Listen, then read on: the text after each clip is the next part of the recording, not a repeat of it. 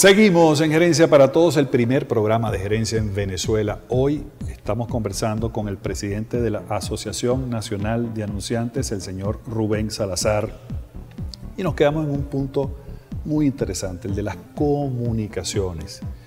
Yo quisiera que nos comentaras por qué es importante que las empresas, sobre todo para los emprendedores que nos están viendo, por qué las empresas deben mantener siempre sus niveles de comunicación, aun cuando muchas de esas comunicaciones no tengan que ver con la venta directa o con la adquisición directa del producto, sino con mantener canales de comunicación para saber qué necesita ese consumidor, cómo se comporta, cuán preocupados estamos como marcas de ellos. No, creo que en los tiempos actuales es una necesidad imperiosa de las, de las marcas y de las empresas. ¿no? Como tú bien decías, no se hace comunicación para el día a día, no se hace para lograr la venta del fin de semana, se hace para generar lealtad de los consumidores en un futuro. No importa si lo compra hoy, lo compra mañana, lo compra en cinco años. Al finalmente creo que la comunicación tiene que ser lo suficientemente efectiva, emocional, de un vínculo con ese consumidor, que lo que haga es decir, tenemos consumidores que quieran nuestras marcas, que sean leales a nuestras marcas y que defiendan nuestras marcas. Yo creo que es uno de los principales motivos de las buenas empresas que saben hacer una buena publicidad, es buscar esa lealtad de los consumidores. Y bueno, yo creo que Venezuela tiene muy, muy buenos ejemplos, ¿no? que a lo largo de los años, empresas nacionales muy importantes que a través de su comunicación han hecho eso, ¿no? Y los venezolanos saben y por eso quieren tanto las marcas. Y ojo, internacionalmente Venezuela, los venezolanos son conocidos como un país que les gustan las marcas. En otros países yo te podría hablar que hay un boom de marcas genéricas, que son buenas, no digo que no, pero el valor que tiene la marca está por encima en ciertos consumidores y a mí me da mucho gusto que en Venezuela sea uno de esos países que tiene esa, esa bondad para las marcas.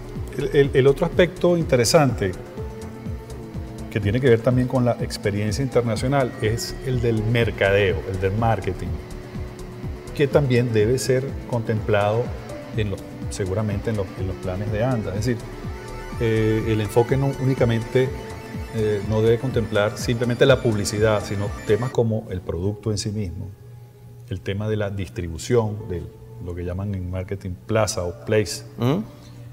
y el tema de cómo llego a los consumidores, a través de qué canales, sobre todo ahora en el caso tenemos en el aspecto de comunicaciones, las, las redes sociales, y donde el, consumidor actúa, pide, reclama, critica. Sí, bueno, respondiendo a esta pregunta, yo creo que los anunciantes y las agencias han buscado formas diferentes de llegar hacia ese consumidor y una de ellas son los medios digitales. O sea, ese, si bien está el producto, el precio, la distribución como parte básica, la parte de un mercadeo, yo creo que el tema de esa dualidad que hay, que no existía antes, ¿no? Antes el consumidor difícilmente te reclamaba, te decía, hiciste bien, lo hiciste mal, me gustó tu comunicación, me gustó, el producto tiene esto, no tiene esto. Me parece que ahora a través de todo lo que son las redes sociales hay una interacción mucho más efectiva con el consumidor y a la vez es una interacción que nos permite tener mejores productos,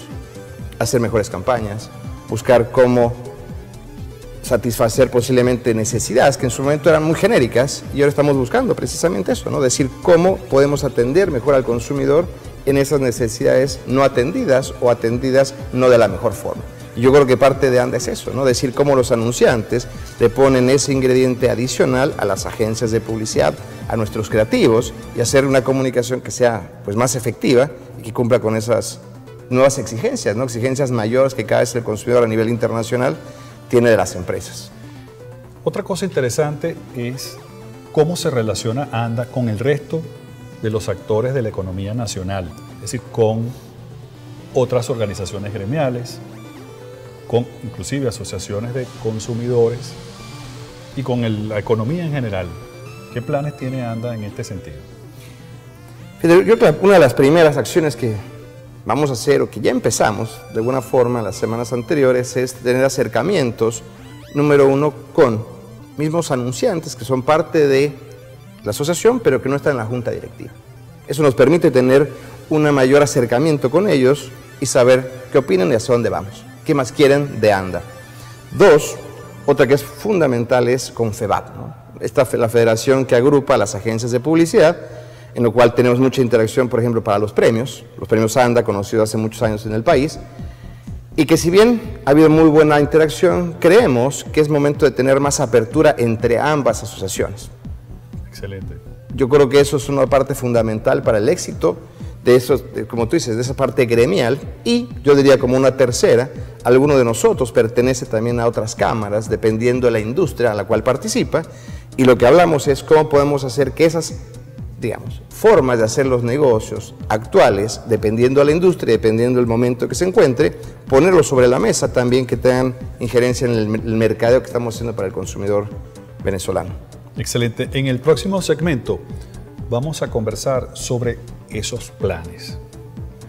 Los planes específicos, qué ayuda necesita ANDA para ejecutarlos, con quién va a ejecutar esos planes, qué cosas va a aportar ANDA en nuestro país ahora de una manera diferente. Ya regresamos en Gerencia para Todos.